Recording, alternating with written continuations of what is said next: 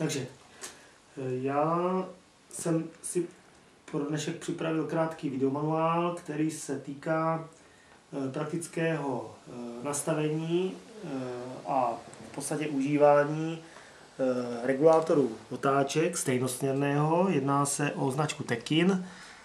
Tady je konkrétní typ Tekin FXR.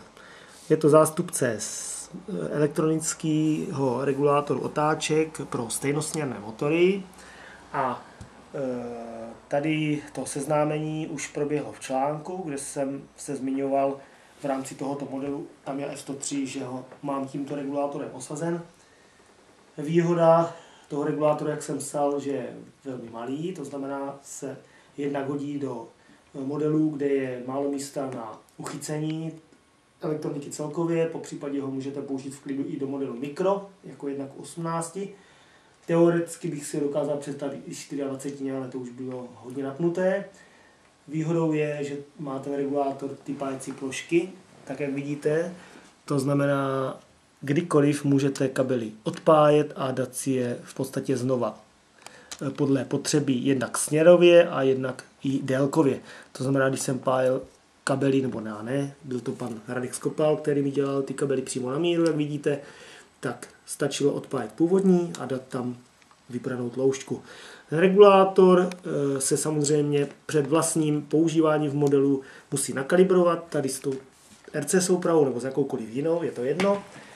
Je to velmi intuitivní, jednoduché, v podstatě se to naučíte jednou, uděláte to jednou a už se o to nemusíte dál zajímat, páč si to ten regulátor pamatuje.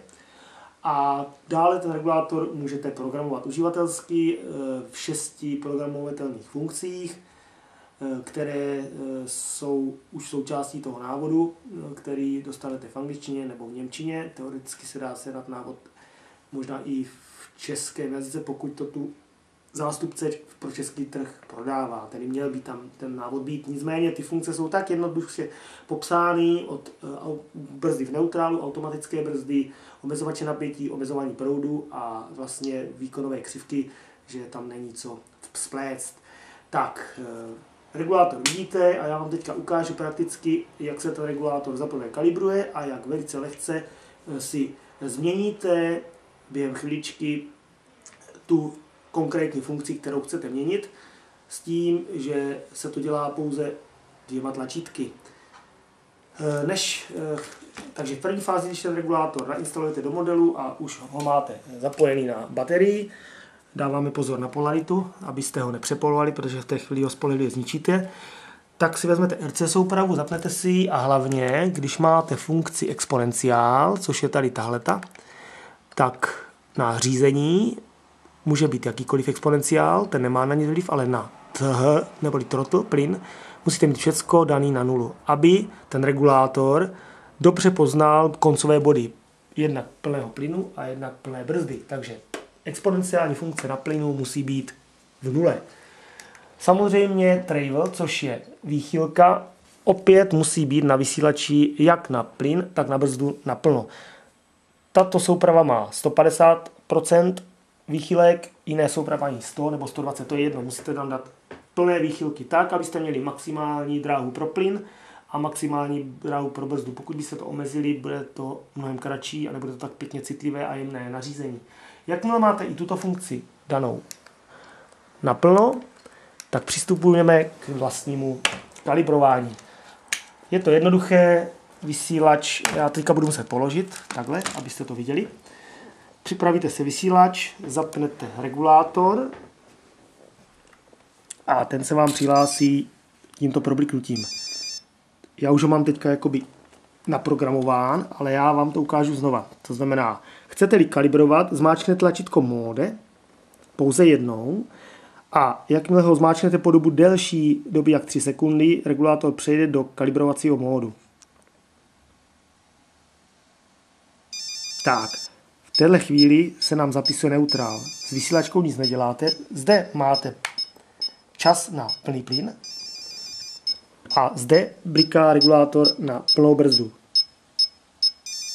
Vidíte to krátku, to krátkou sekvenci, tak tou krátkou sekvencí vždycky ten regulátor potvrdí tu pozici danou. To znamená, ta první pozice potom zmáčknutí je neutrál, po, za, po rychlém e, jakoby zvukovém signálu a problikání všech diod se nám zapíše neutrál, potom dáte plný, o, už mi to jede, pardon, to jsem nechtěl.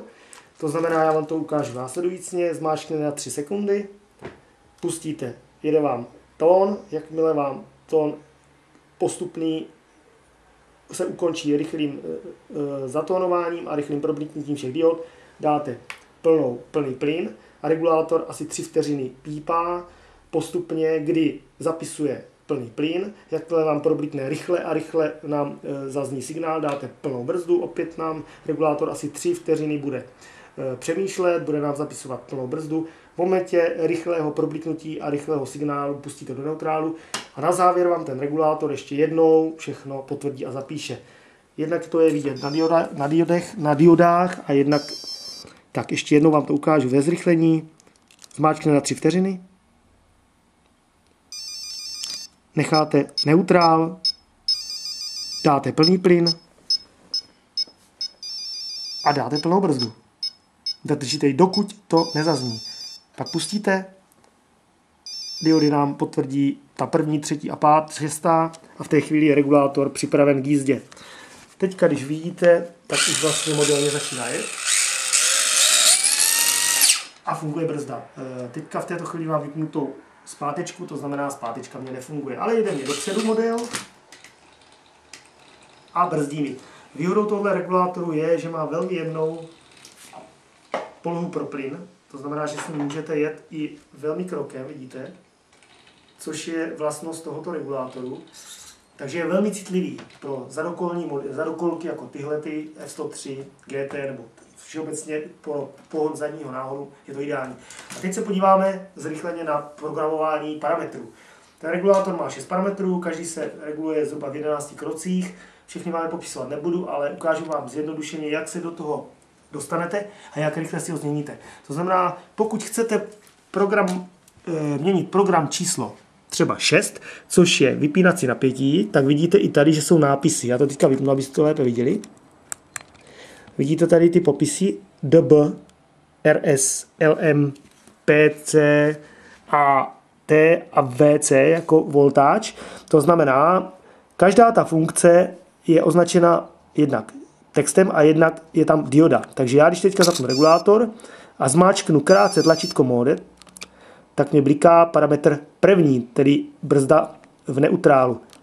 A krátkým stlačováním tlačítka mode se posunuju postupně do kolečka, dokud se nezastavím, od parametru 1, 2, 3, 4, 5 až 6. Vidíte?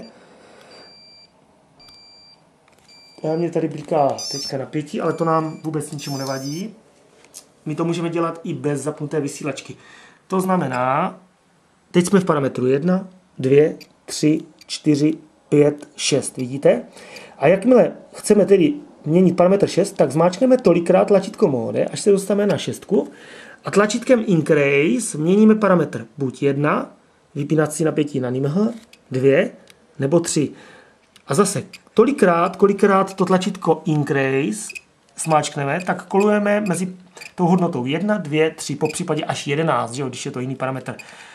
Já jsem měl nastavenou jedničku. Pokud tím regulátorem pak neděláte díl jak 5 vteřin nic, tak se vám vyresetuje, eh, pardon, zapíšou se ty hodnoty a dá se do stavu eh, funkčního, to znamená, nemusíte nic potvrzovat, po pěti vteřinách mám regulátor, je připraven k jízdě a ten parametr je zapsán. Všechno se dělá jedním tlačítkem a ještě těsně před startem můžete kdykoliv velice rychlým způsobem se dostat do menu a pokud znáte tu, ten systém, ten, to pořadí těch funkcí, tak si ji můžete ještě vlastně kdykoliv změnit a nemusíte nějak dlouhosáhle mačkat více do tlačítek nebo přemýšlet.